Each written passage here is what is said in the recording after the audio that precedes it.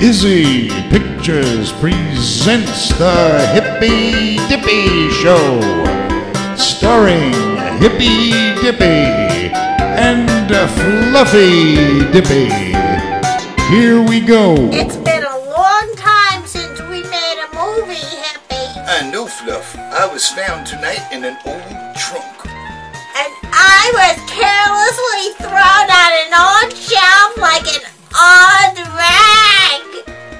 Are not treated well, Fluffy. No, and neither are a lot of American workers and poor people, too. You are so right, Fluffy. Why, I was talking to a working man today about his rights and what he ought to demand, and you know what he said? You were? I'm proud of you. I hope he agreed. No, no, he knew I meant only good, but it made he made it clear that there's a lot of right that never gets done just 'cause it's right. It's hard to fight back. The odds are always against the working people. And working puppets. I don't gotta take this lying down in some box somewhere. I got rights. You got wrongs. Why did you leave me on that shelf and go off to a nice warm trunk? Uh, Fluff, I had no say in that. See?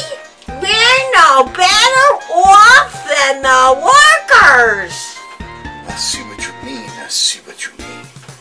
And look how I was blaming you when conditions are to blame. Gee, Fluffy, I sure am lucky to have such a smart wife. You certainly are. Say goodnight, Hippy. Good night, Hippy. Ah, I lost my glasses. Some things never Look at that. Some oh, things what am I never talking about? Good night, Good night. Fluffy. Tune in again for the Hippy Dippy Show next week. Same time, same place, same station. Izzy Pictures is proud to have made this presentation.